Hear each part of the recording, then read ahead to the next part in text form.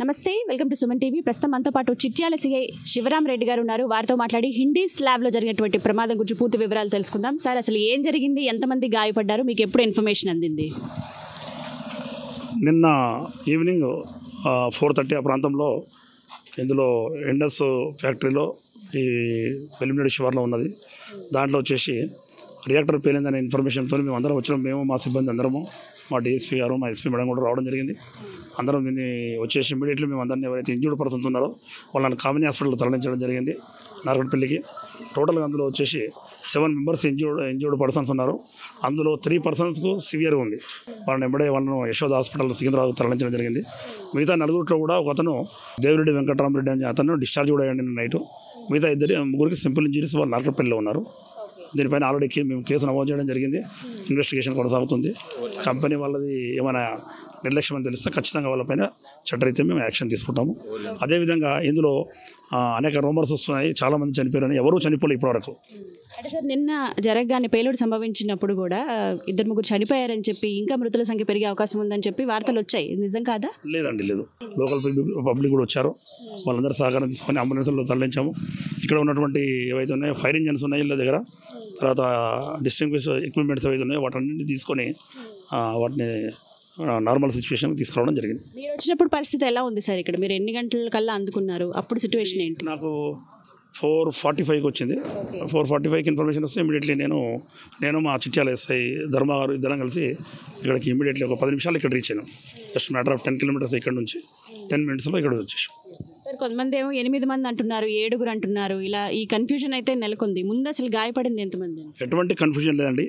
ఇప్పటి వరకు కేవలం ఏడుగురు గాయాలైనవి ఆ, ఎవరూ చనిపోలేదు ఇందులో. మేము. ఇక్కడే ఉన్నాము ఎవరు అపోహలకు తావులేదు దీంట్లో.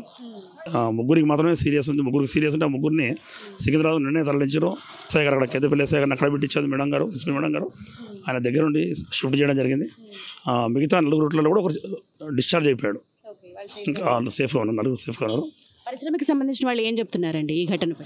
ఈ ఘటనపై ఆ రియాక్టర్లో వచ్చినటువంటి అందులో ప్రెషర్ బిల్డప్ అవడం వల్ల వాక్యూమ్ ఏదైతే ఉందో అంద ఎమల్షన్స్ అది ఫైనల్ స్టేజ్ వచ్చేటువంటి బల్క్ డ్రగ్స్ అవి అంటే ఇంటర్మీడియట్ డ్రగ్స్ అవి. ఫైనల్ స్టేజ్కి వచ్చే అది అవుతుందో ఆ రియాక్టర్లో దాంట్లో నుంచి ప్రెషర్ బిల్డప్ కావడం వల్ల వ్యాక్యూమ్ ఎక్కువైపోయి దాంట్లో నుంచి అందులో ఉన్నటువంటి వాల్వ్ కొట్టేసింది. కొట్టడం వల్ల దానికి ఫ్లేమ్స్ వచ్చినాయి. దాని ద్వారా బర్న్ వచ్చింది అంతే ఎవరైతే తీవ్రంగా గాయపడిన వ్యక్తి ఉన్నారో వారి కుటుంబ సభ్యులు కావచ్చు వాళ్ళందరూ ఇన్ఫర్మేషన్ అందించారండి వాళ్ళు ఎక్కడ ఉన్నారు అందరికీ ఇన్ఫర్మేషన్ ఉందండి. అక్కడ ఈ కంపెనీ తరపున కూడా వాళ్ళు అక్కడే ఉన్నారు.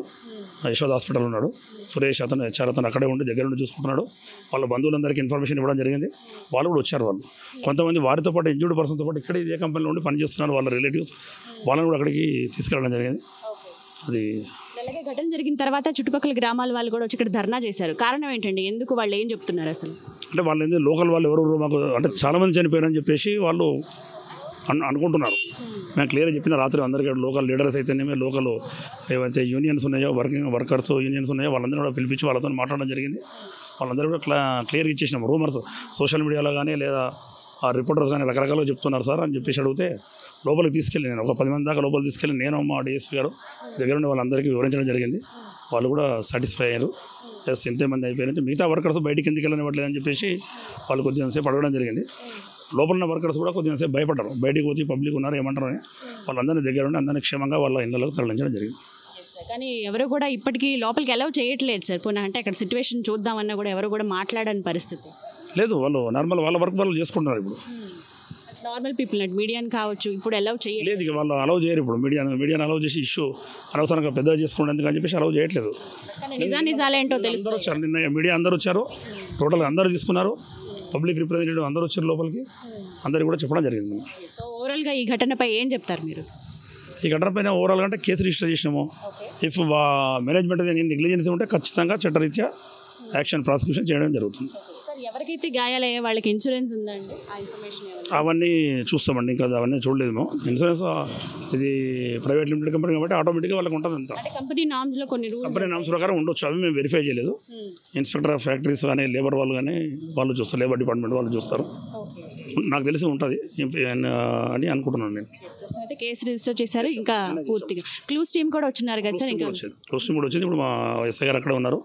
నేను కూడా అక్కడికి లోపలికి వెళ్ళి ఇన్వెస్టిగేషన్ ప్రాసెస్ కంప్లీట్ చేస్తాను రైట్ సిఏ గారు చెప్తుంది ఒకటే ఇక్కడ జరిగింది నిన్న జరిగిన ఘటన వాస్తవమే కానీ ఏడుగురు ఎటువంటి ఇక్కడ మిస్కన్సెప్షన్స్ కానీ క్లారిటీలు కానీ లేకుండా ఎవరు కన్ఫ్యూజ్ అవ్వద్దు ఏడుగురు ఖచ్చితంగా ఏడుగురికైతే గాయాలయ్యాయి అని చెప్తున్నారు. అందులో ఇద్దరి పరిస్థితి తీవ్రంగా ఉంది. అందులోనూ ఒక వ్యక్తికి పూర్తిగా ఎనభై శాతం వరకు ఒళ్ళు కాలిపోయింది. దానికి ఆల్రెడీ వాళ్ళ కుటుంబ సభ్యులకు ఇన్ఫర్మేషన్ అందించాము. మెరుగైన చికిత్స కోసం ప్రైవేట్ హాస్పిటల్లో వారికి ట్రీట్మెంట్ అందిస్తున్నాము. అలాగే ప్రొడక్షన్ మేనేజర్ ఎవరైతే గాయపడున్నారో వారికి కూడా ట్రీట్మెంట్ అండ్ అలాగే సర్జరీ కూడా జరిగిందని చెప్తూ ఉన్నారు.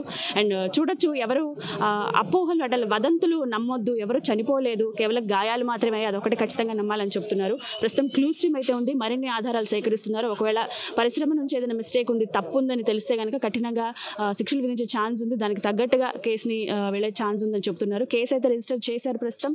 ఇన్వెస్టిగేషన్ ప్రాసెస్ నడుస్తుంది. క్లూస్ టీమ్ లోపల ఉన్నారు మరింత ఇన్ఫర్మేషన్ రావాల్సి ఉందని చెప్తున్నారు. ఇది వాళ్ళ వీడియో.